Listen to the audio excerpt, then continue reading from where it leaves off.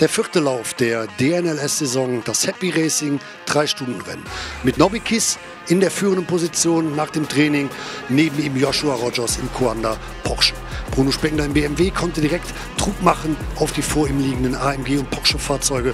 Doch auch Phil Dennis im Porsche Formale Racing Team zu Beginn vorne mit dabei. Immer wieder harte Zweikämpfe, tolle Duelle, immer wieder die Angriffe. Hier Rogers innen gegen Kiss, aber Kiss kann die Position vorerst noch behalten, vorerst noch in Führung bleiben. In der Cup 2 Klasse war es das Coanda Simsports Team mit Zack Campbell, der von Beginn an das Tempo bestimmte und nachher zu einem souveränen Sieg fuhr, gemeinsam mit seinem Teamkollegen konnten sie ganz souverän die Cup 2 gewinnen. In der Klasse der SP10, da war es ein toller Kampf zwischen Core Sim Racing und dem Team RSO, die sich über die gesamten drei Stunden gegeneinander bekämpften und Motorsport vom Allerfeinsten boten. Am Ende mit dem glücklichen Ende für Core Sim Racing im Porsche Cayman. In der Klasse SP3T ebenfalls Corsim Racing vorne dabei, doch hier war es die Mannschaft von Heusingfeld, die nach hartem, aber fairen Duell die Klasse für sich entscheiden konnte.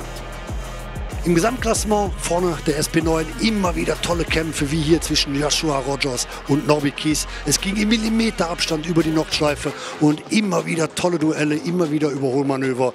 Und dann für Norby Kies dieser Dreher im Bereich Schwerseifen, der ihn ein Stück zurückwerfen ließ. Nachher am Ende war es nur Platz 4. Auch hier tolle Kämpfe zwischen Robin Stritzek und Adam Christodoulou im Auto von Heusingfeld. Adam Christodoulou nachher später dann mit diesem Dreher hier in Breitscheid auf der Brücke zu weit auf den Körper gekommen, das Auto verloren, viel weit zurück nachher am Ende für ihn nur noch Platz 6. Barnefeld gegen Rogers. Das war das Duell zur Rennmitte und Rogers am absoluten Limit unterwegs. Immer wieder geht das Auto quer und immer wieder der Druck von Barnefeld, der hier einen kleinen Fehler im Bereich Exmühle ausnutzen kann, vorbeizieht und aber nur kurz sich über diese Führung freuen konnte, denn der Konter von Rogers kam unmittelbar danach und immer wieder wechselte zwischen den beiden Porsche-Piloten die Führung im Gesamtklassement. Am Ende konnte sich das Maler andere Racing-Team aber dann doch sehr gut durchsetzen. Phil Dennis gemeinsam mit seinem Teamkollegen Ryan Barnefeld für die Mannschaft vom Male-Team vorne. Platz 2 für das Team vom BMW Bank